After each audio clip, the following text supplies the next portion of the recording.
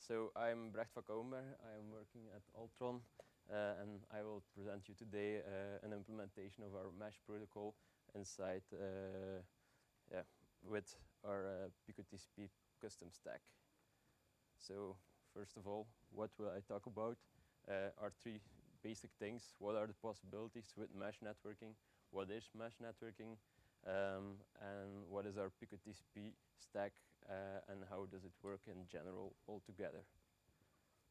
Um, so mesh, mesh, networking is actually uh, a collection of different nodes which uh, set up the, the routing information or the routing infrastructure uh, to be able to communicate with each other in a dynamic way. So it will describe a specific routing technique how they can communicate with each other. Uh, where can it be used for? It could be used for uh, sensor networks like uh, yeah, geospatial information, different uh, nodes that are spread over a geographical environment, or home automation, or actually have a network uh, which is mobile, so like a uh, mobile network um, which is configuring itself and dynamically adapting towards uh, how the network is uh, changing. So how does it work?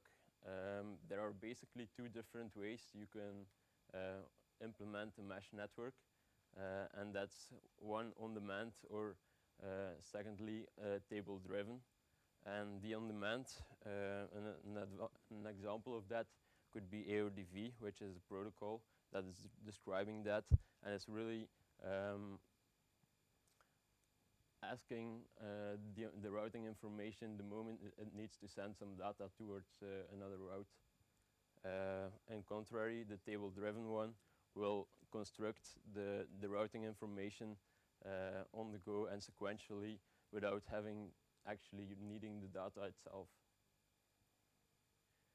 So um, one of the, the table-driven ones is OLSR, which is a optimized link state routing protocol as described in RFC. And it will actually build the, the tables proactively before uh, they will need to send data. So for example, this would be a routing table that is required for uh, to get from one side to another. So if I would get, want to get to destination 3, then I want to hop to uh, gateway 2, and it's going to be one hop, so the metric is going to be 1. And, and like that, it will build up all different uh, um, yeah, routing information. Um, now, how does it functionally work? They will send, each node has the same intelligence inside, and they will send hello messages to all their neighbor nodes. All these neighbor nodes will con connect to the other ones and actually um, select their one of their neighbors as uh, a multi-point relay, which is actually sending their topology information uh, with TC messages to the rest of the the, uh, the network. Then there are two different, uh, more uh, advanced um, message types, the mid messages, which will um, send more uh, interface data towards the network and the HNI to inject uh, um, new routing information into a, from another network into this network. Uh, in contrary, the on-demand um, routing will be uh, reactive, be, will be reactive and actually uh, build the routes by a route request on the moment they, they require it. So what is the, the advantage of the one in contrary to the other one? Um, if you have all the routes available, it will go faster to send your data um, and you don't need to have the overhead of building up the tables. So, um, and the, the reactive protocol will react more on different changes in the routing information. Okay. So how did we implement it? Um, we made a Pico TCP stack uh, which is basically a networking stack uh, built for uh, um, to be a modular way uh, to connect to other different devices without requiring a lot of um, yeah operating system dependencies. So you can just run it bare metal and modularly select whether or not you want to have certain features available. So this is an example of how you could compile such a, uh, an embedded stack. So you just select your architecture, your cross compiler, uh, and the specific pro uh, protocols uh, we provide to have it compiled in your in your library. Okay, so if you want to check out this code, it's uh, all publicly available on uh, GitHub. You can just watch it at TASS Belgium slash GitHub uh, slash PicoTCP uh, and ask any questions there if, uh, if, if you would have them. Um, the source is open and dual licensing protocol uh, policy, so you have the GPL version 2 and a proprietary one if you would like for um, more uh, to have it for your company specifically if you don't want to be stuck to the GPL uh, parts. Okay, so how did we do our mesh implementation? Um, we had a, cha a, challenge to port it towards uh, the University of Ghent network. Um, they have a set of nodes that are connected to each other. Um, 50 um, amount of 50 nodes, uh, and we needed to port it to, to, to that network.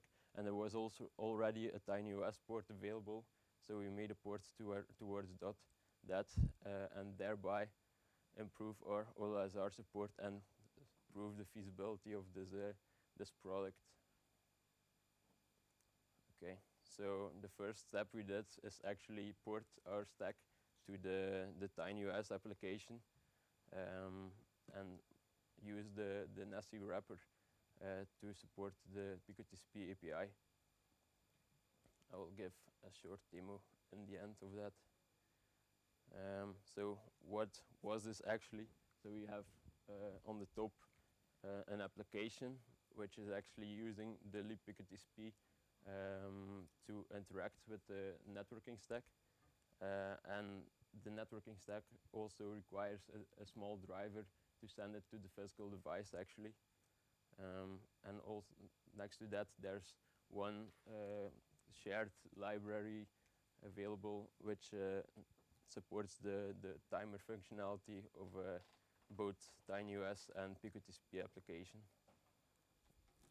So to, uh, to have all that running, we just had the tiny, tiny with the, the, application and the radio driver included, uh, and then have IPv4, UDP, and ICMP for uh, just to see send some ping messages, and the OLSR, which makes uh, the mesh network uh, develop available. So all that together was constructed in uh, 27 kilobytes.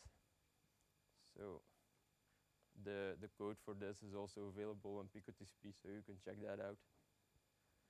Um, so to facilitate this, the debugging, we use the TelosB board. The, those, the network uh, in the university is all uh, built up by those boards. So we actually had one board which was connected to our PC for easy debugging, uh, and there was the TelosB board, so the port for that is also available. Um, next to that, to separate it from the real world, we uh, we have written um, a, mesh simulator where you can actually uh, implement your own application and see how that goes. Uh, so you can visualize where your nodes are situated and see which routes are being built. Okay. So this is actually the implementation of the mesh network on, uh, on the university. So we have about 50 nodes uh, over here, which are all connecting to each other and uh, having the same intelligence, just building up the routes inside, and that looks kind of like this. So you, you just begin to get a lot of no nodes that are uh, having routes towards all different nodes uh, and specifying their metric available uh, on the right hand side.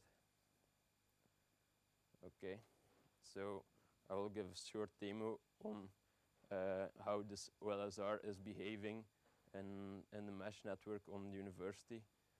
Um, and we'll give some description. Yeah, okay, I think it's two minutes. so it should be fitting in there.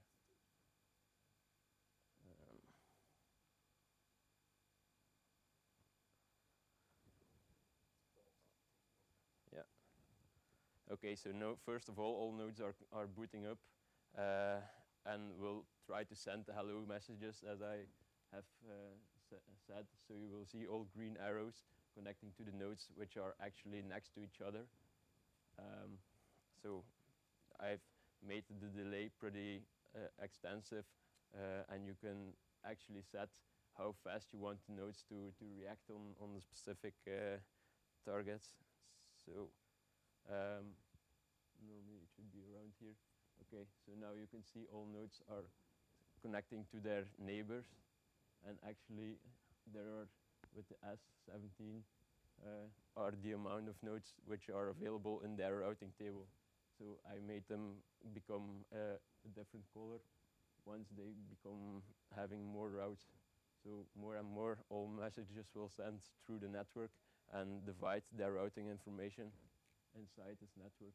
So you can actually see that, for example, this the the orange uh, arrows are actually two hops away, so you can uh, send a message via another uh, node to uh, a two hop away node, and the red arrows are the three hops away.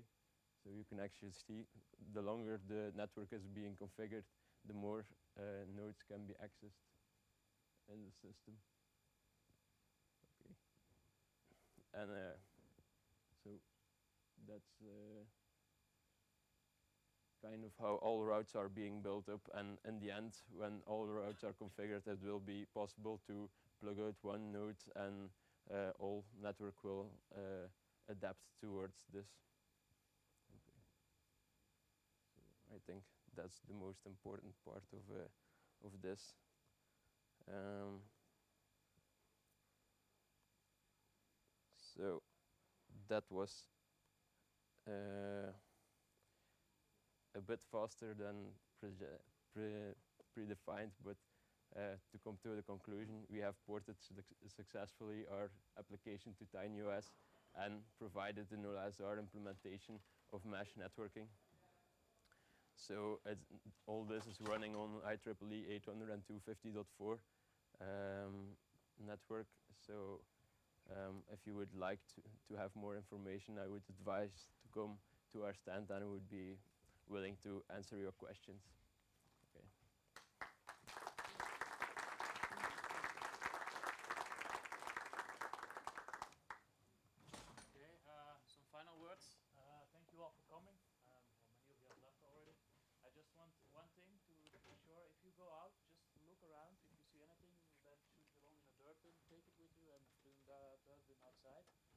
have to do it.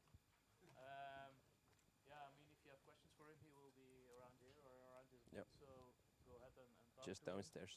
And uh, I hope you enjoyed this uh, FOSDEM Spatial uh, Dev Room. And I hope we have another one next year. I think it was successful, so...